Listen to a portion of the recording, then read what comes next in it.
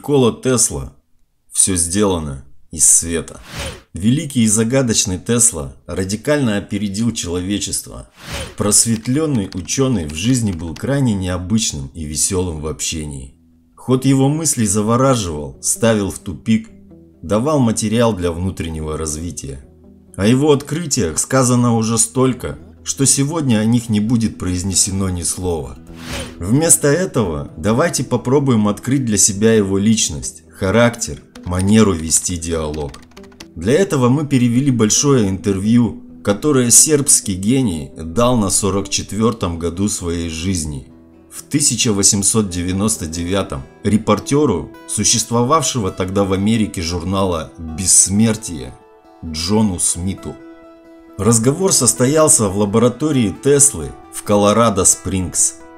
Мистер Тесла, вы приобрели славу человека, который проник в космические процессы. Кто вы, мистер Тесла?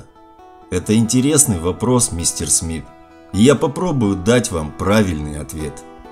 Говорят, что вы родом из Хорватии, из провинции Лика, что выросли среди деревьев, камней и звездного неба. Говорят, что ваш родной город назван в честь горного цветка и что дом, в котором вы родились, расположен рядом с лесом и церковью. Все так и есть. Я горжусь своим сербским происхождением и хорватской родиной. Футуристы говорят, что 20 и 21 век были рождены в голове Николы Теслы. Они поют гимну индукционному мотору и называют его создателя охотником – который поймал свет из глубины земли в свои сети, и воином, который поймал огонь с небес. Он считается отцом переменного тока, который позволит физике и химии править миром. Промышленность объявит его своим высшим святым, банкиром для величайшей благотворительности. В лаборатории Николы Теслы впервые был расщеплен атом. Был создан прибор, создающий сейсмические вибрации – там же были открыты первые черные космические лучи. Пять раз будут молиться ему в храме будущего, потому что он передал им величайший секрет. Кроме четырех стихий Эмпидокла, существуют еще жизненные силы эфира. Да, это мои самые важные открытия, хотя я и повержен, я не достиг величайшей из своих целей. Что же это за цель, мистер Тесла? Я хотел осветить всю Землю. Существующего электричества было бы достаточно для того, чтобы сотворить второе Солнце. Свет появился бы вокруг экватора, как кольцо вокруг Сатурна. Но человечество еще не готово для величия. В Колорадо-Спрингс я сделал Землю плодородной при помощи электричества. Мы также можем распространять другие энергии, Например, позитивную мысленную энергию, содержащуюся в музыке Баха или Моцарта, в стихах великих поэтов. Недра Земли полны энергии радости, мира и любви. Она выражается, к примеру, через цветок, который растет, через еду, которая проходит в виде растений, а также через все, что делает Землю домом для человека. Я проводил годы, наблюдая, как эта энергия воздействует на людей. Красота и аромат роз может быть лекарством, а солнечные лучи – едой. Жизнь существует в бесконечном количестве форм, и задача ученых – найти ее во всех формах материи. В этом отношении необходимы три вещи.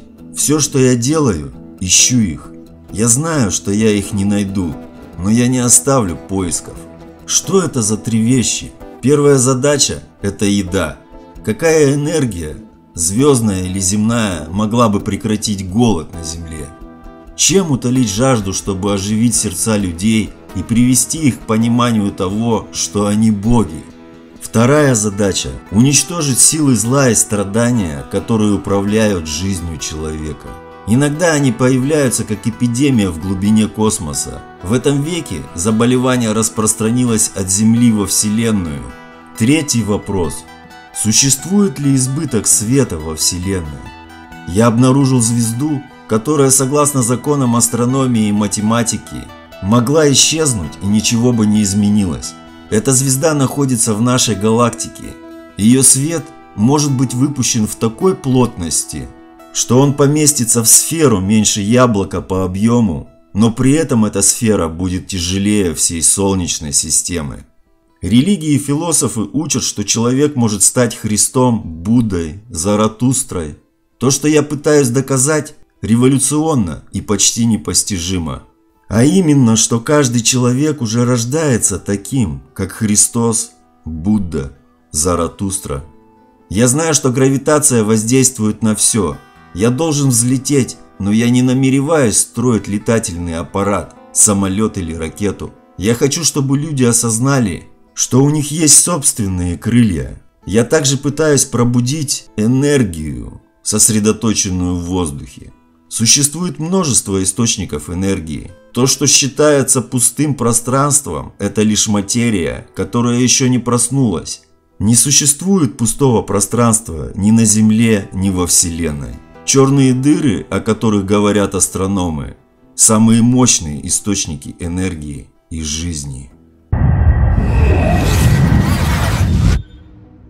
В окно вашего номера, который находится на 33 этаже отеля Вальдорф Астория, каждое утро прилетают птицы. Человеку следует быть чувствительным к птицам из-за их крыльев. Человек когда-то тоже обладал ими, реальными и видимыми. Вы не прекратили летать с тех далеких дней в Смиляне? Журналист вспоминает случай из детства Теслы. Я хотел полететь с крыши, но упал. Расчеты ребенка могут быть неверными. Помните, что крылья юности хотят иметь все в жизни. Вы когда-нибудь были женаты?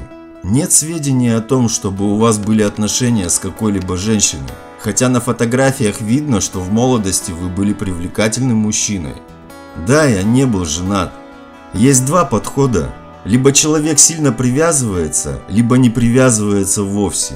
Среднее положение служит воспроизведению человеческой расы. Жизнеспособность и дух одних мужчин женщины питают и усиливают. Одиночество делает то же самое для других мужчин. Я выбрал второй путь. Ваши поклонники жалуются, что вы атакуете относительность. Они находят странным ваше заявление о том, что в материи нет энергии. Все наполнено энергией. Так где же она? Сначала была энергия, потом материя.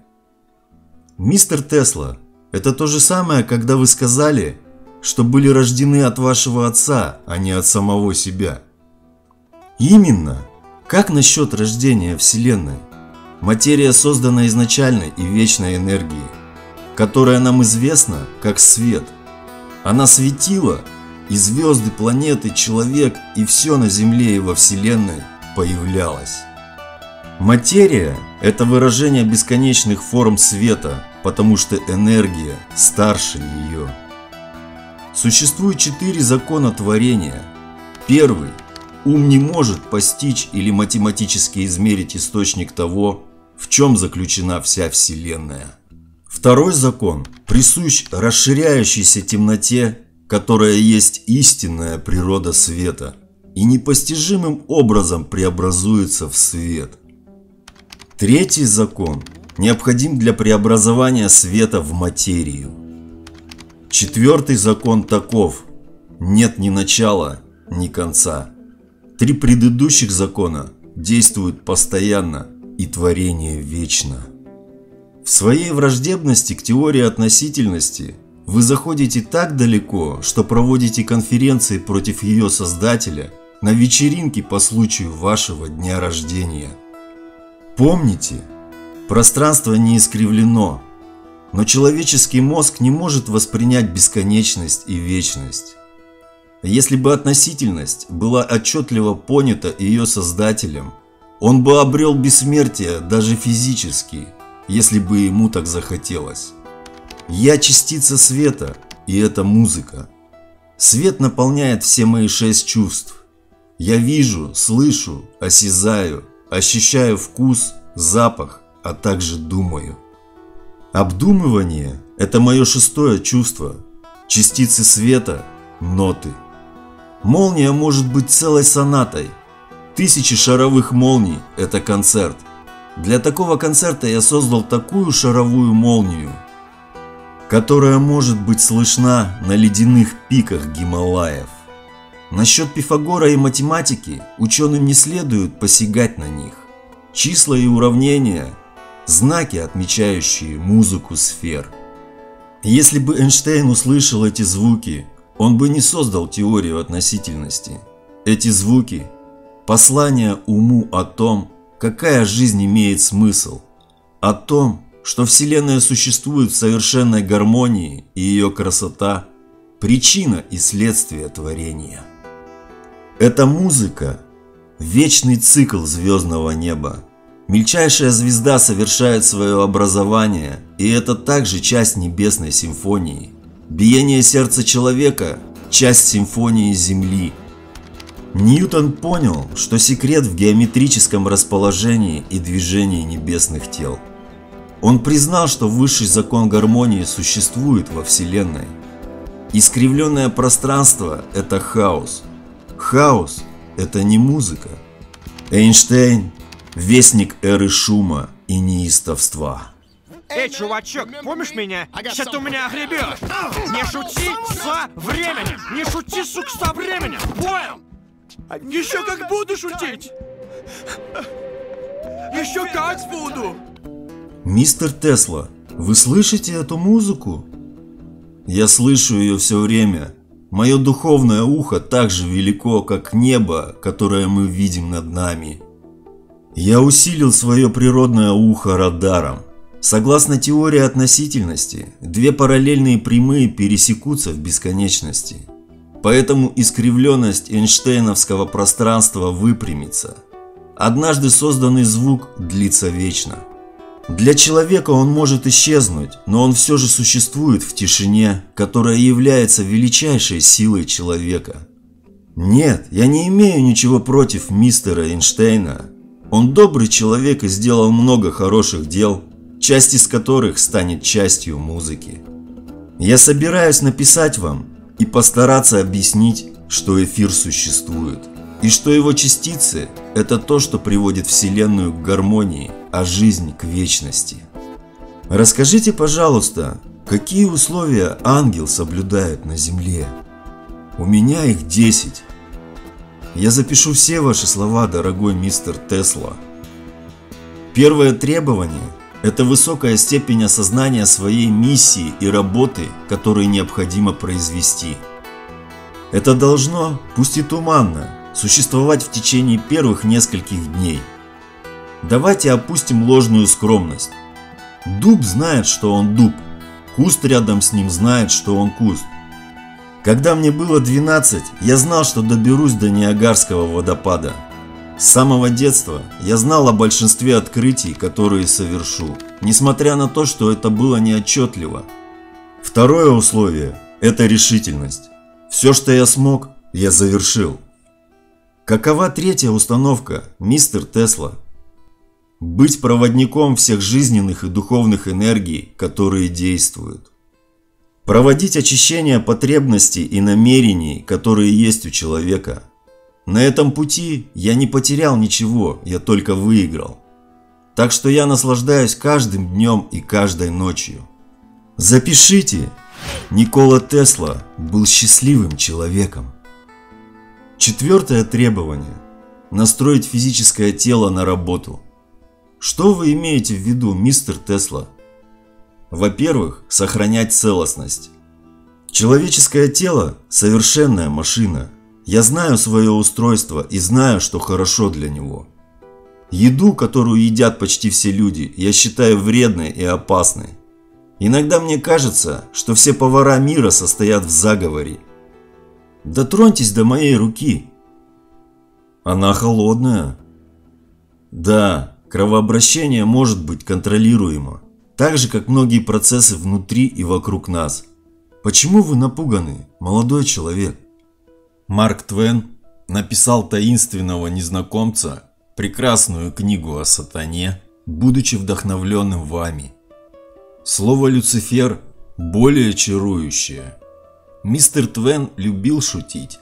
Когда я был ребенком, однажды я выздоровел, читая его книги. Когда я рассказал ему об этом во время нашей встречи, он был так тронут этим, что заплакал. Мы стали друзьями, и он часто приходил ко мне в лабораторию. Он как-то попросил меня показать ему машину, чьи вибрации вызывают ощущение счастья.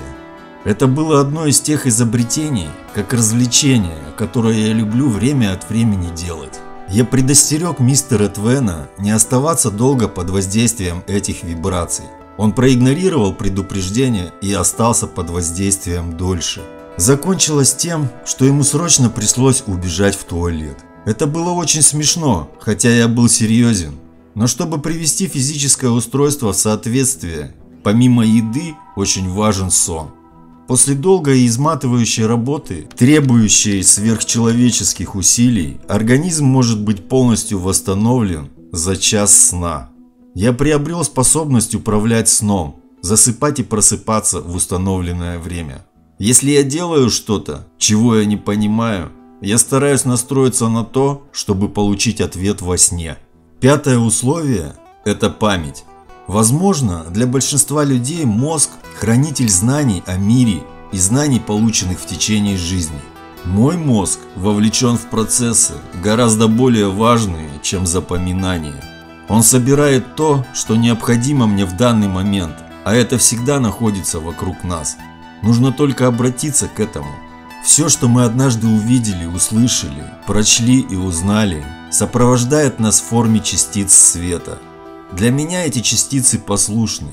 Будучи студентом, я выучил Фауста Гетте, мою любимую книгу на немецком, и сейчас я могу воспроизвести ее, Свои изобретения я держал в голове годами, прежде чем обнародовал их.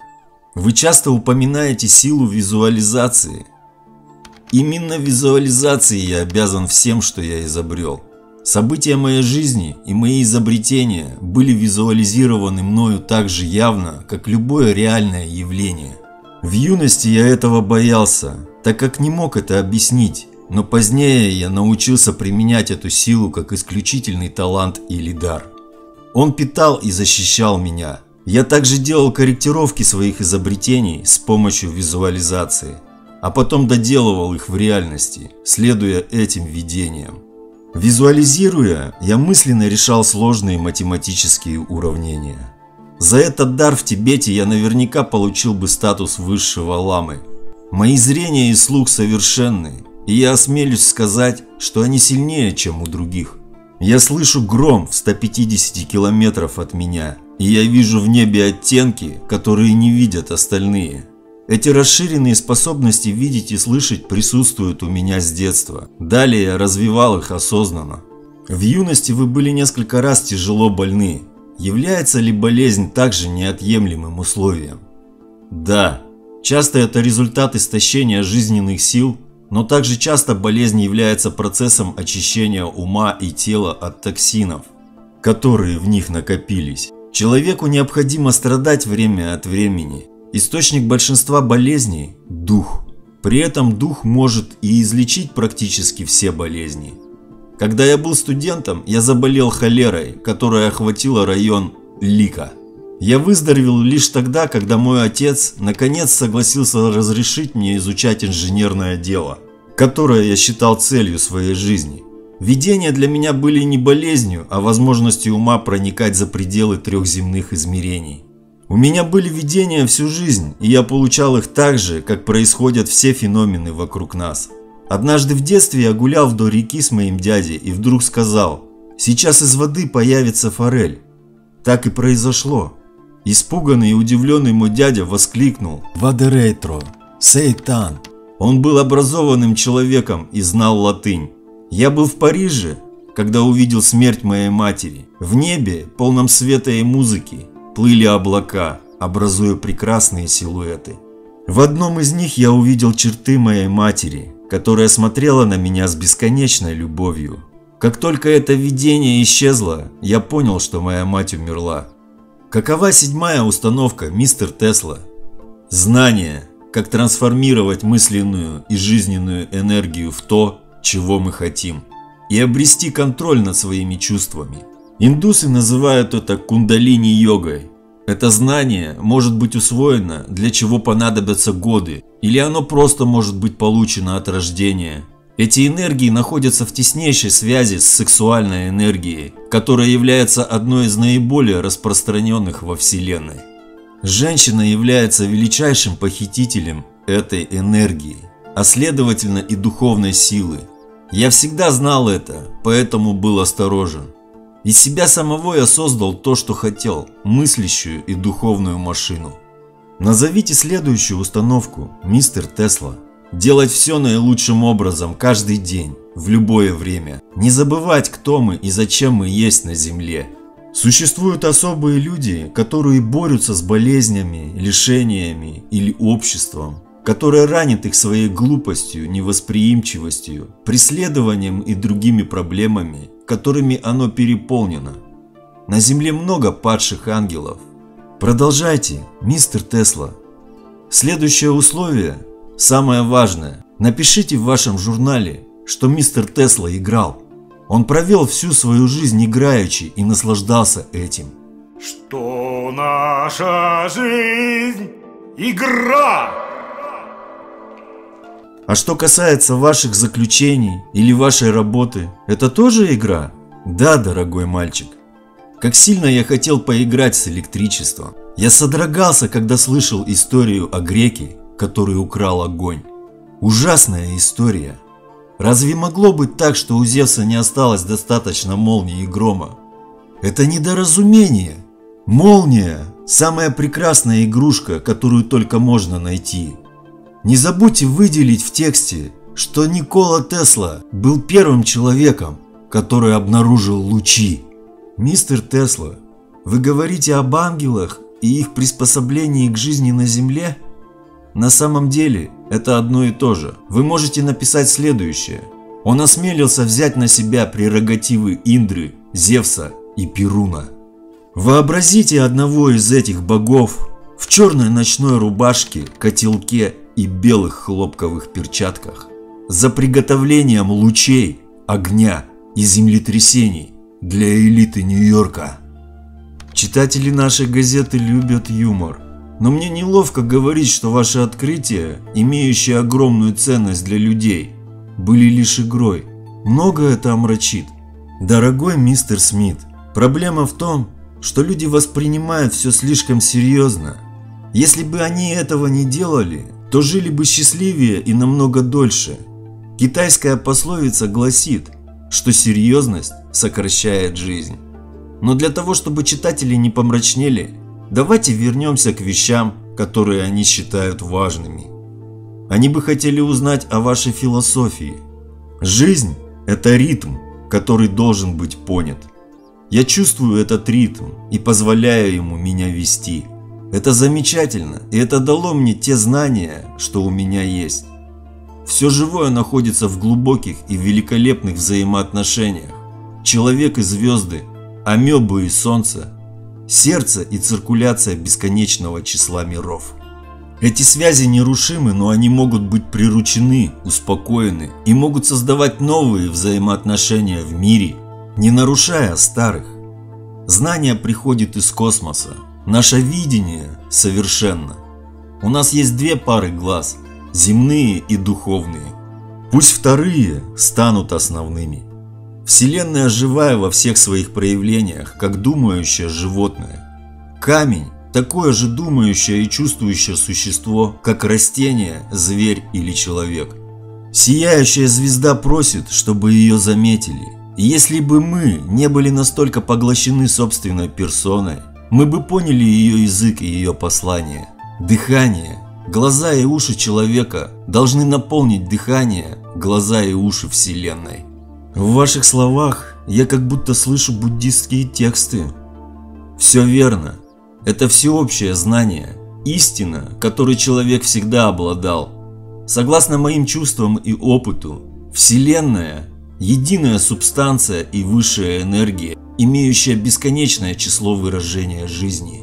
Самое лучшее – это то, что открытие одного секрета природы делает доступным другой. Они не могут быть спрятаны, они все вокруг нас, но мы слепы и глухи к ним. Но если мы открыты, они приходят к нам. Существует много яблок, но только Ньютон, ему понадобилось всего одно яблоко, упавшее перед ним. Я задам вам вопрос, который должен был быть задан в начале этой беседы. Чем было электричество для вас, дорогой мистер Тесла? Все есть электричество. Сначала был свет, бесконечный источник, из которого возникает материя, распространяющаяся во все формы, которые представляет Вселенная, а также Земля во всех аспектах ее жизни. Истинное лицо света темное. Мы просто его не видим. Оно благосклонно по отношению к человеку и остальным существам. Каждая его частичка обладает силой света, тепла, ядерной энергии, радиации, химической, механической и остальных энергий, пока неопределенных. Оно обладает мощью создавать Землю с ее орбитой. Это настоящий рычаг Архимеда. Рычаг. Момент силы. Мистер Тесла, вы чересчур пристрастны к электричеству. Я и есть электричество. Или если вам так понятнее, я – свет в человеческом обличии. Вы тоже электричество, мистер Смит. Просто вы не осознаете этого. Это и есть объяснение тому, что у вас есть способность выдерживать разряды в миллион вольт, проходящие сквозь ваше тело. Представьте себе садовника, которого атаковали травы. Вообще это было бы безумием. Тело человека и его мозг созданы из огромного объемной энергии. Во мне большая часть – электричество. Энергия, которая различается от человека к человеку, то, что создает человеческое «я» или душу. Для других созданий – их души, душу растения, камня или животного. Работа мозга и смерть проявляются в свете. Мои глаза в юности были черными, сейчас они голубые. И с течением времени, с дальнейшим развитием мозга, они еще приблизятся к цели – Цвет неба белый. В мое окно однажды влетела голубка, которую я кормил. Она хотела сообщить мне, что умирает. Из ее глаз струился свет. Никогда в жизни ни от одного создания я не видел столько света, как из глаз той голубки. Работники вашей лаборатории поговаривают о вспышках света, огнях и молниях, которые появляются, если вы злитесь или вам угрожает опасность. Это физический разряд или предупреждение о том, что следует быть бдительным. Свет всегда был на моей стороне. Вы знаете, как я открыл вращающееся магнитное поле и индукционный мотор, которые прославили меня, когда мне было 26? Одним летним днем в Будапеште я наблюдал за закатом вместе с другом. Тысячи вспышек огня кружились, тысячи пылающих красок. Я вспомнил Фауста, процитировал его строки и затем как в тумане, я увидел магнитное поле и вращение индукционного мотора. Я увидел их в солнце. Персонал отеля рассказывает, что во время молнии вы обычно закрываетесь в номере и разговариваете с собой. Я разговариваю с молниями и громом. С ними? На каком языке, мистер Тесла? В основном на языке моей матери. Язык состоит из слов и звуков, особенно в поэзии. Так что это подходит. Читатели нашего издания будут очень признательны, если вы поясните это. Звук существует не только в молниях и громе, он также возникает в трансформации яркости и цвета. Цвет может быть услышан. Язык состоит из слов, что означает, что он является звуками и цветами.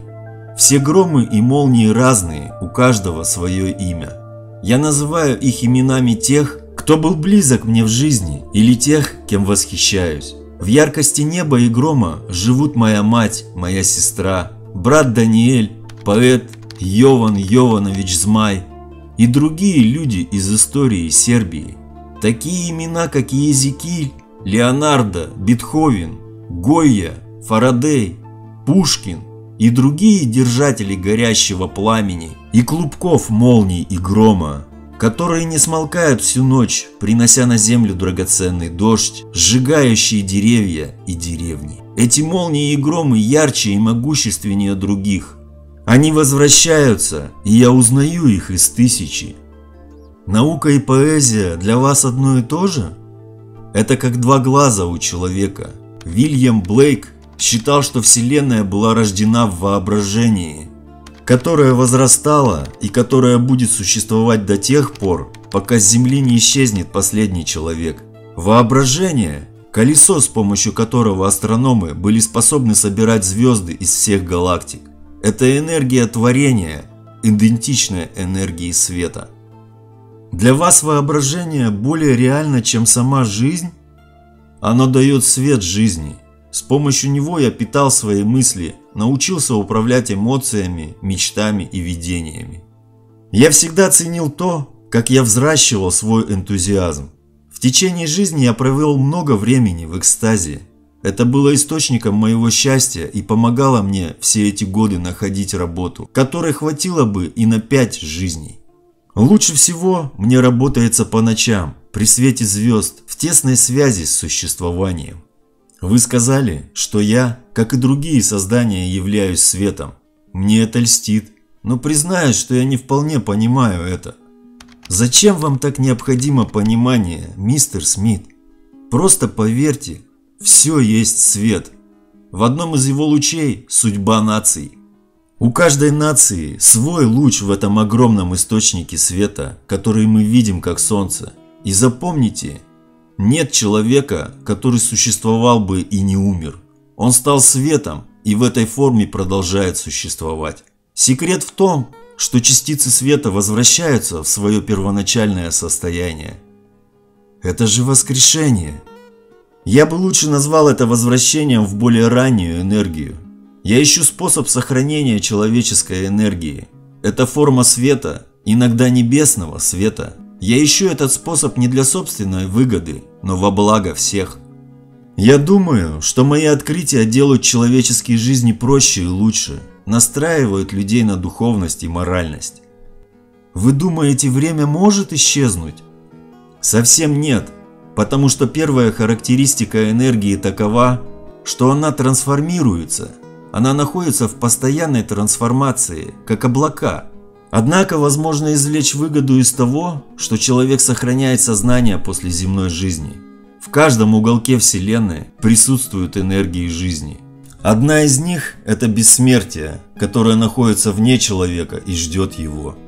Вселенная духовна, как половина нас – Вселенная более моральна, чем мы, потому что мы не знаем ее природу и как гармонизировать нашу жизнь с ней.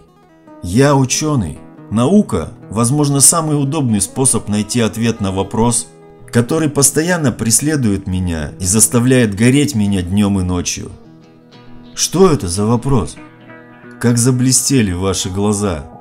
Я всегда хотел узнать, что происходит с падающей звездой, когда заходит солнце. Звезды падают как пыль или семена в этот или другие миры, а солнце рассеяно в наших умах, в жизнях многих существ, которые будут перерождены как новый свет, или космический ветер, разбросанный в бесконечности. Я понимаю, что это должно быть включено в общую структуру Вселенной.